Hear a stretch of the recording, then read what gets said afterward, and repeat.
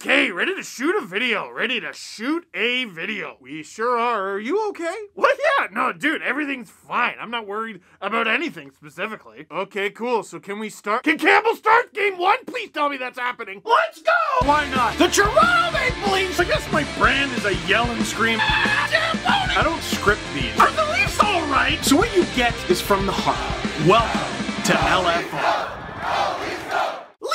Lose 4 3 in overtime to the Ottawa Senators.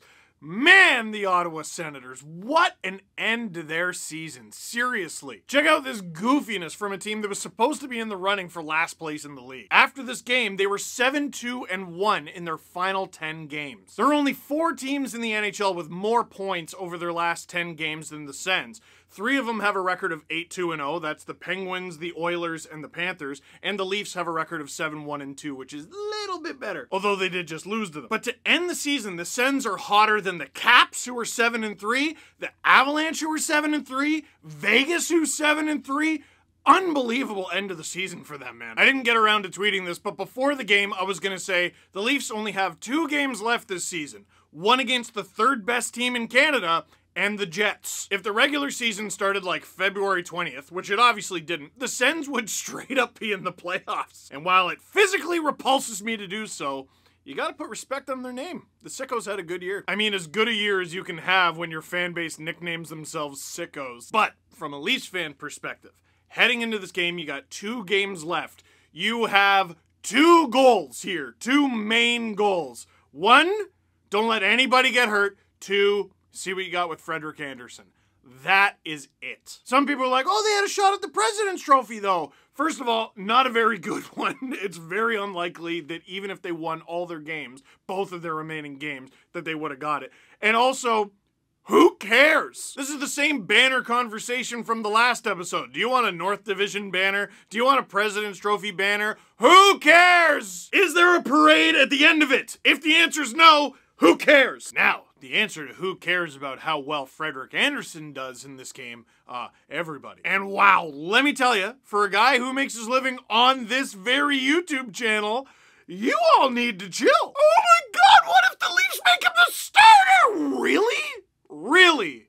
Frederik Andersen could have had a 50 save shutout where every save is the Dominik Hasek windmill behind the head save and he would not be the starter for game one of the playoffs. What if Campbell gets hurt or something? Well, what if? What if a meteor strikes you in the middle of watching this video? You can't live life like that! Frederik Andersen has been the starting goaltender for this team, and a darn good one, since October 2016. The main reason he is not currently the starter of the Toronto Maple Leafs is he's been injured since two months ago. I thought it was because of Jack Campbell. No, Jack Campbell filled in and did amazingly because Frederik Andersen has been injured since two months ago. It would be ridiculous and flat out dumb to not see what you have with the guy who has been your starting goaltender for half a decade just because he was injured two months ago. If he's healthy, why on earth wouldn't you evaluate him with the two super duper meaningless games that you have left? They're evaluating everyone ahead of the playoffs. Stefan Noesen got into a game. I didn't hear anyone freaking out about that. We're hoping Zach Hyman maybe gets into the last game. Riley Nash. Dude, Ben Hutton is in the lineup because the Leafs straight up don't have the cap space to put Rasmus Sandin in there. But the guy who's been the starting goaltender for half a decade starts a game and everyone loses their minds. I am the resident freakout guy of this fan base and your behavior behavior is concerning me. So, Freddie was in this game. Let's see how he did. The first period happened, and honestly, I gotta say, I was pretty encouraged by it. Not the Sens out shooting the Leafs 10 to 6, that didn't make me feel all that good, but Frederik Andersen making a bunch of stops. Didn't allow the first one, and he had to make some difficult saves as well. Connor Brown with that shorthanded chance, I think that was in the first period. Well, one of 90 in the game as well. He tried to go 5-0 on Freddie, you cheeky, but Freddie stopped him. A couple power play opportunities for the Ottawa Senators. Freddie stopped them. And the penalty kill stopped them. They've been improving lately, thank goodness. Then, with just over a minute to go, the Sens do get one by him, and of course it's Nikita Zaitsev. But toward the end of Freddie's little run, the, the when the Leafs shut him down, what were we saying? You need a save. We were coming up with all kinds of excuses. well, this happened, and this happened, and this happened. And I do think later in the game we start to fall into that. But on this goal by Zaitsev, I want you to tell me what he should have done different. Now, first, it's actually a really good play by the Sens. They're digging the puck out of the corner, and I don't remember who it was, but he shanks it over William Nylander, gets it to the player at the point, and they work it around. Here's the shot. Obviously, there's the puck right in front of him, sort of by Ben Hutton's feet. Nikita Zaitsev places an excellent shot, goes right off the bar. I think it might have even hit Ben Hutton in the bum for a slight deflection, and Hutton cannot move Nick Paul out of the way. A perfect screen. Freddie can't see a thing, and he's being aggressive. He's at the top of the blue paint. This is just a, a, bad situation, man. Like, one thing that is painfully obvious with Freddy when he's fighting it, when he's struggling, is his movements are way too wild, like, too explosive. He's all over the place. But one thing he's also really struggled with this season is fighting his way through traffic, battling, uh, trying to see through screens. He used to be so good at it, and he kind of lost it a little bit this season, I thought. I just don't think that's what happened here. I don't think the defender did a good enough job of getting the attacker out of his line of sight, and the puck might have also hit his bum. He stopped 9 out of 10. That is the one that he allowed. Most goalies coming off a two month absence they probably take that first period back, seriously. But unfortunately, now the Leafs are down one after one. All right, you got two periods, get it back. In the second, the Leafs get another power play. All right, everybody go get a drink. And the darndest thing happened. They scored. And we've been talking about why the power play sucks, and there are a variety of reasons. But I think the reason they scored in this play is they did something weird. They attempted something anything different. We're about a minute into the power play. It's the second unit out there. There's a battle for the puck in the corner, and Wayne Simmonds comes out with it. Now, there's three Sens defenders in front, and Filip Gustavsson's got his paddle down to cut off a pass to Jason Spezza. But at least Simmonds tried. Like 99 times out of 100, I would expect him to get that puck in the corner and ring it around to whoever so that they can do this power play's favorite thing in the world, which is maintaining possession and being completely not dangerous at all. Instead, whoa, he brings the puck into a high danger area and he's not able to get the shot off. But since two guys are on him, Alex Kerfoot gets it. He doesn't like what he sees with Gustavsson, so he passes it back. The puck goes to Joe Thornton. He knows he's passing it to Jake Muzzin before he's even got the puck. Look at the chaos in front. Muzzin blasts it and like Zaitsev in the first period, right off the post and in! Thornton and Kerfoot deservingly getting the assists on this Jake Muzzin goal, but to me it all starts with Wayne Simmonds doing something anything slightly out of the ordinary. Thank you, Wayne Train. Sometimes the stuff you try, even the stuff that doesn't work, works. Oh my goodness. Oh my god. Maybe they were they, they, were just lying to us all, and they're actually creative, and they were saving it all for the playoffs. Oh, this is awesome. Oh, and the Sens took another penalty.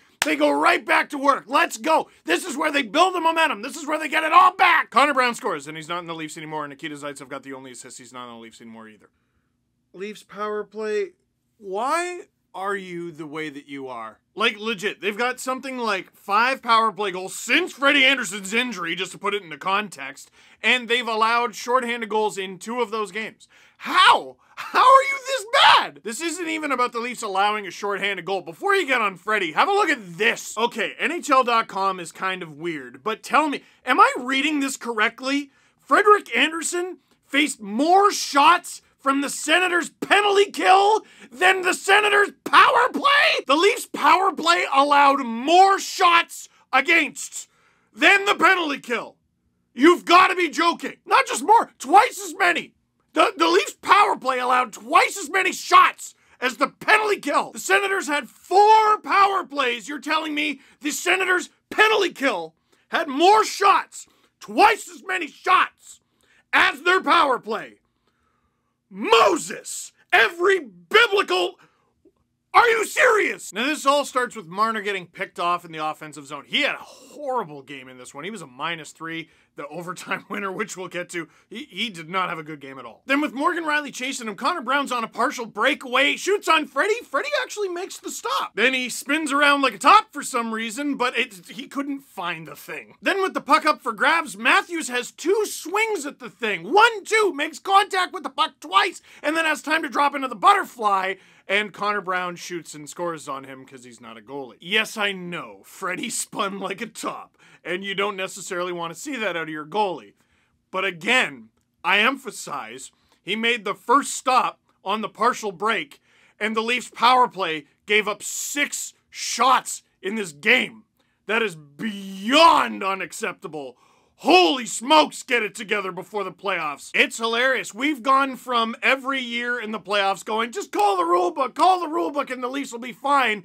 This year, I hope it's prison rules because my my my goodness. Three minutes later, even strength. Parker Kelly, first NHL game. Uh, this one I thought was quite bad. Sorry, Fred, not gonna have them all. First of all, it's a delayed penalty because Morgan Rielly just buried him in the corner. Then he sort of aloofly floated around. He had a horrible game in this one too. He was also dash three along with Marner. Sends working around to Brannstrom at the point. He blasts it on, but he blasts it wide, and I'm not entirely sure. I think that was on purpose. The puck bounces perfectly to Parker Kelly's stick, but he only gets like 20% of it, and it trickles towards the net. Like, you ever see that video of the sloth trying to cross the road, and eventually someone's like, this is ridiculous, and they pick it up to help? Well, it still went in because, again, Frederik Andersen is spinning like a top. He almost gets it, which was nice, but almost is not good enough. I learned that from Fast and the Furious, and the Sens are now up Three to one! Because of how the shorthanded goal looked and how sort of similar it was to this one, and the fact they were three minutes apart, that's when the entire fan base, and myself included, just took to Twitter and were like, this guy is not ready at all. Now that I have had some time to watch the replays over and over again and think about it, good lord! The Leafs defense. Good lord! Let, let's call it what it is. Ahead of the Stanley Cup playoffs, the Leafs need Morgan Rielly to be better. And TJ Brodie has afforded him this new freedom to sort of be him, which is great. Morgan Rielly is an undeniable offensive talent back there. But sometimes the puck's going to be in your end, and you just can't do that. Like any of that. The burying the guy in the corner for a clear penalty. The just floating like like a ghost. Nothing in that entire three minute sequence, allowing the shorthanded goal, getting nothing done on the power play, allowing this even strength goal to a guy you've never heard of. It's brutal. Steve, why are you freaking out? These games don't even matter. Uh, well, no, not entirely. The outcome doesn't matter. This they still could have lost 4-3 in overtime. It's how they allowed the goals.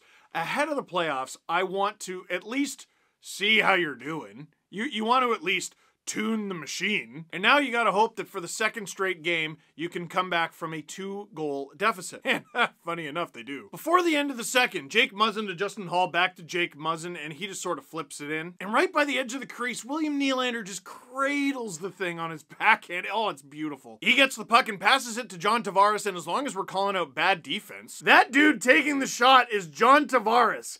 How dare you? He scored because of course he did. What were you thinking? It's now a one goal game. From Jonas Siegel, John Tavares in 33 games with a new curve on his stick, 13 goals, 33 points. He's a point game player. Behind the swap of sticks and his mid-season transformation. Players are so particular about their sticks. Uh, you'll remember the Mike Green story from a few years ago where the manufacturer just stopped making his stick and he was talking about it contributing to his decrease in production. So Capitals fans were literally giving him sticks that he had signed for them. He was playing NHL games with sticks that fans gave him that had his own autograph on it. Anyone who's ever been a deranged enough fan like myself and gone to a Leafs equipment sale a few years ago would have seen why are there all these Ryan Getzlaf sticks? And I believe the answer was Joffrey Lupul. If it works, it works. Do your thing, Johnny. So we head to the third, and it's getting pretty late, and the Leafs are not able to tie this thing. Shots were 9 to five for the Leafs in the third period, and even though he only faced five shots, to Freddie's credit,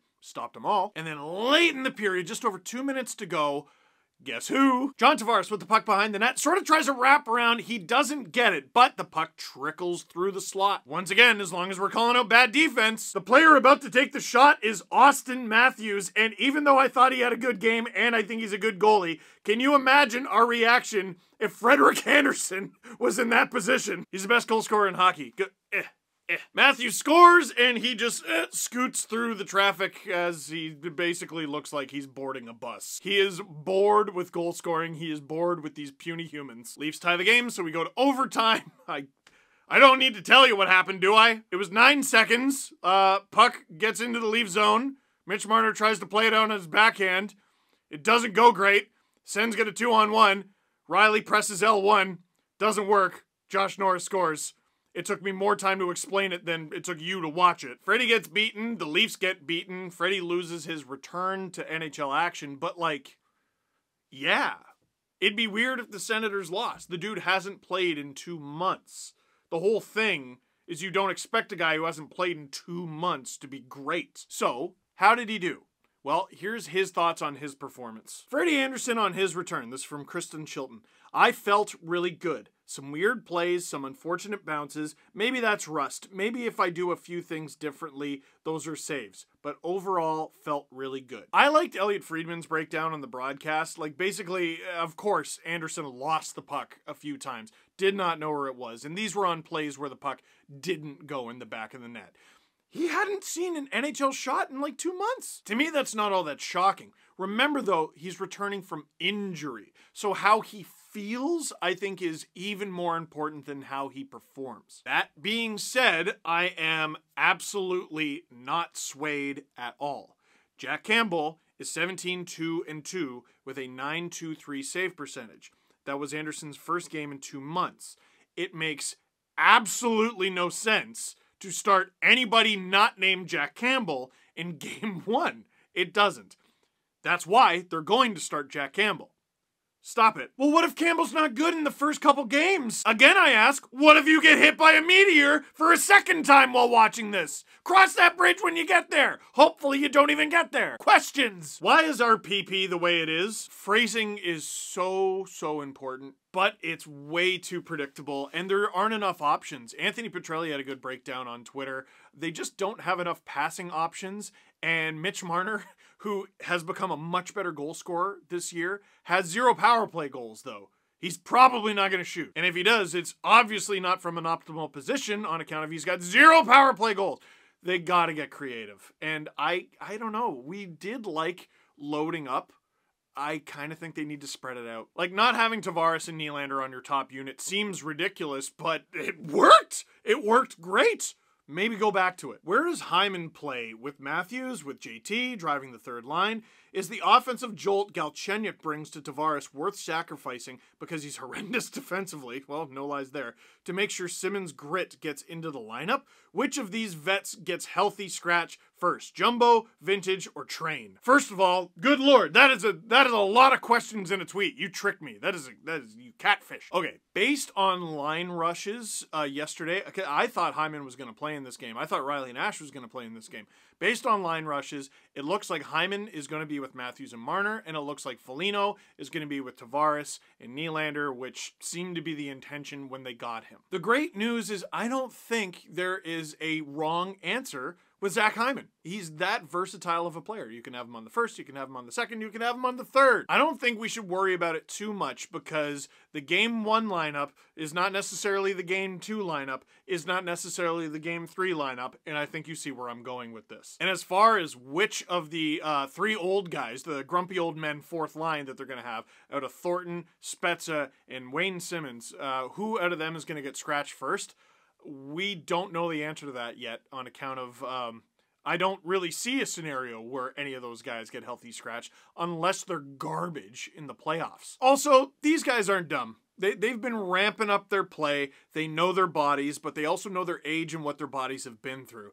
I do think they're saving it for the playoffs and it's going to be magic. I took this straight from the Leafs Twitter account. Game one is Thursday, May 20th. We got a decent little layoff ahead of us, and it is a 7.30 start. Game two, Saturday, May 22nd. That's at 7. Then games three and four, we don't know the time, but we do know that they're back-to-back in Montreal, May 2, 4, and 25th. Then game five, if necessary, May 27th. Game six, if necessary, May 29th. And game seven, if necessary, May 31st. You know what to do. Write it down. Wow. So that is it for this one. Thank you very much for watching. Click like if you like this video. Click subscribe if you really like to tell your friends. One more regular season game to go before the dance.